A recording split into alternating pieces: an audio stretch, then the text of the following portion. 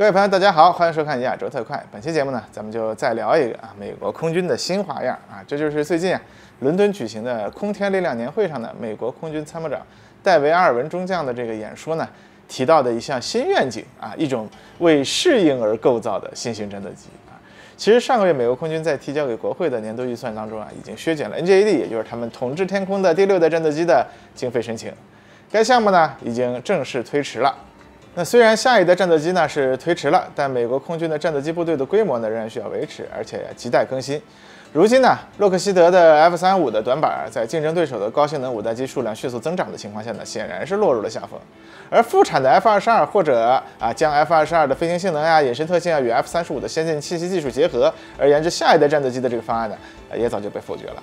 那么，美国空军如果想要一种性能优于 F 三十五，又不会如同 NGAD 那样过于昂贵的次世代战斗机呢？那就只能想办法再开发一种第五代战斗机了，一种比 F 三十五的空战性能更好的第五代战斗机。应该说呢，这样的想法，美国空军已经琢磨了几年了。之前我们的节目里呢，也关注过，当时美国空军啊提出研制一种啊啊四代加五代减的新型战斗机，甚至已经给了 F 代号叫 F 三十六。基本上呢，就是按照 F 十六当年的理念，用现在的技术呢，再搓一架轻型单发高性能的战斗机出来。但最终呢，这个计划呢还是未能通过啊。最终决定呢是购买 F 十五 EX 这种四代半战斗机，同时呢将 F 十六战斗机升级为 F 十六 V，以增强其性能，延长其寿命。此外呢，当时还想对即将到售的 F 十五 C 啊也进行升级，安装新的雷达、翻新机体。不过这些老装备改装升级呢，应该说也只能做到让这些飞机的物理使用寿命啊再续个十年。至于说技术上的先进性嘛，到二零三零年代显然已经谈不上了，顶多也就是啊跟上世界上其他国家对于手中老式四代机升级改装的脚步罢了。而美国的整个军事体系呢，又是构筑在空中优势上的。如果手中的战斗机不比主要对手强大，甚至在二零三零年以后呀，这个可能对于美国非常重要的时间点上呀，美国空军的主力机型很可能还落后于其主要对手，那这就显然让美国人很难接受了。所以当时他们的选择呢，还是放弃延寿 F 十五 C。大量购买 F 十五 EX 来呀，和歼十六啊、苏三五啊对位，同时呢，加紧研制 NGAD，希望到二零三零年前后呢啊，至少啊进入首飞阶段。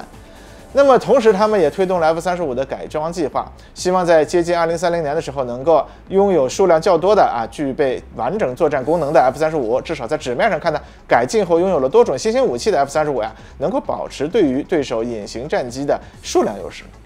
同时呢，其他方面也很清楚啊。针对这个时间点，美国当时计划了一大批新型的武器，可以说是饱和式开放啊，三四种高超声速导弹同时上马，伯克三型驱逐舰紧急下单等等这些计划呢，都要求在二零二四年，也就是今年左右开始测试，二零三零年前啊要形成初始战斗力。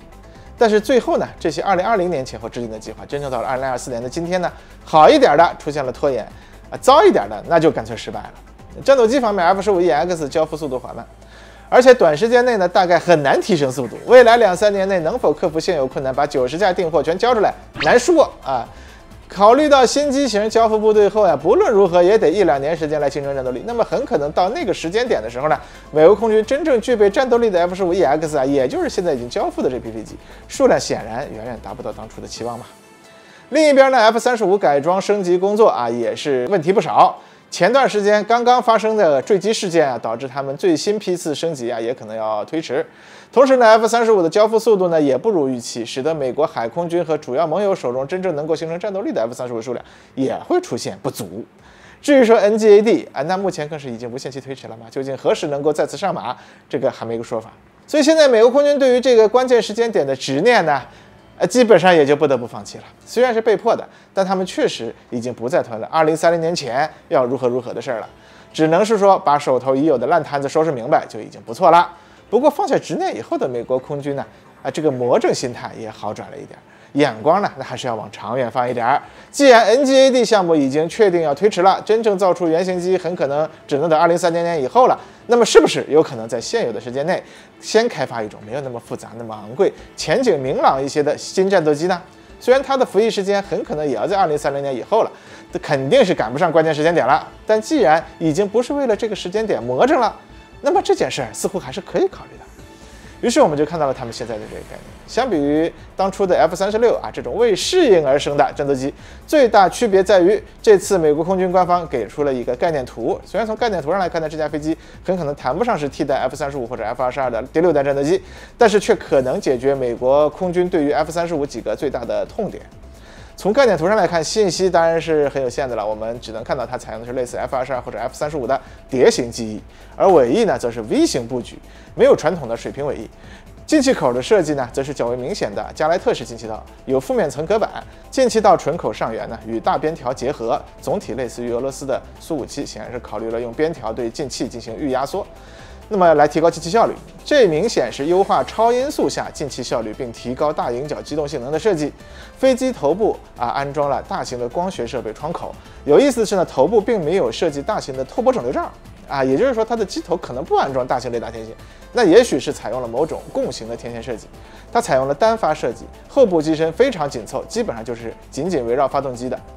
那么当然，这个概念图肯定是让人迷惑的，因为这就是美国空军的一个概念啊，还不是主要飞机研制单位的概念，所以很多细节呢，看个意思就行了。真正重要的是呢，它透露出的关于这架飞机总体的一些构思，比如说新飞机的尺寸重量会比较小，同时呢要强调超音速飞行性能和超音速机动性。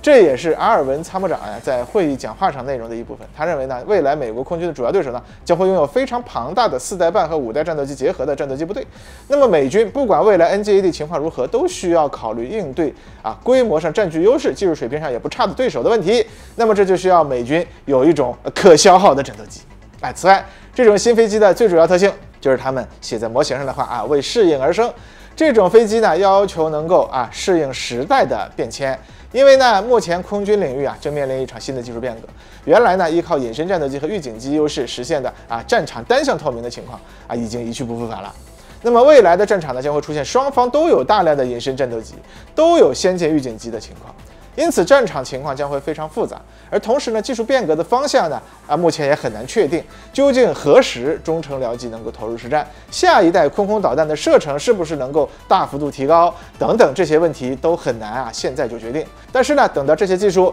开始实际列装的时候呢，所有的设计之初没有做好准备的飞机，它都要面对啊这些新的问题，它们是否能够适应啊这些改变？所以呢，这种新飞机的特点就是以系统为中心。其重点呢，就在于可以快速按需求改造啊，计算机软件加系统。那么要具备快速更新的能力啊，我们要具备超越对手的这方面的能力。阿尔文中将认为呢，美国空军未来必须着重依靠蜂群能力来应对作战需求。其实我们琢磨一下这些概念，就会发现，它将很多过去用来说中程僚机的概念套用在了这种战斗机上。所以很可能这架飞机的概念呢，还是一种有人无人两用飞机。如果未来啊，NGAD 项目啊进展顺利，那么六代机发展成熟，无人机相关技术也如期得到长足发展，那么这就是一种高性能的无人中程僚机。如果相关的进展不顺利，那么美国空军飞行员就要驾驶这些轻型战斗机去组成有人机蜂群作战了。那么利用数量优势和网络化能力呢，将原本一架飞机的功能分散到两三架飞机身上，来弥补一些缺点。那么这种想法呢，不能说是没有道理吧？但居然是由美国人提出来，这老实说，以前我们是想不到的。这个应该说到目前为止，美国人的这些构思呢，应该还停留在早期阶段。最究竟呢，最后能否造出这种飞机还很难说。所以他们的概念到底是可以付诸实践的啊真概念，还是仅仅因为目前的形势所迫提出的一些临时凑数的想法，咱们也也不太好说。但是我们至少可以确认的是呢，未来啊，中程僚机和轻型战斗机之间的差别呢会比较小，因为中程僚机无论如何它不可能做成 F 三十五或者歼三五这样的体量，因为成本会比较高。类似 F 十六歼十这样的中型四代机呢，它们类似的这个重量尺寸啊，在性能上能够达到比较理想的水平，这也是美国空军这种新概念机差不多的这个尺寸水平。那如果比这更小呢，小到类似米格二十一 F 幺零四这样的。应该说勉强还能作为有人机去实施作战，但很多性能呢可能就要更差一些。那如果再小一些，那基本上呀就不考虑作为有人机作战的可能性了。这就是目前美国几种中程僚机原型机的概念。究竟哪种重量尺寸的战斗机能够成为未来主流的中程僚机呢？这个这件事儿目前还是几个主要大国在寻思的问题。最终啊，可能几个主要国家会出于不同的考虑做出自己的选择。究竟哪一个更好，这就要看到时候的实践了。不过可以肯定的是呢，这样的飞机啊，很可能也是下一代国际市场的宠儿。那么很可能十年、二十年后，世界上很多国家的空军啊，就要开始大量采购这些主要大国作为中程僚机使用的轻型战斗机，来组成自己的空军了。好了，那么本期节目咱们就说到这儿，咱们呢下回再见。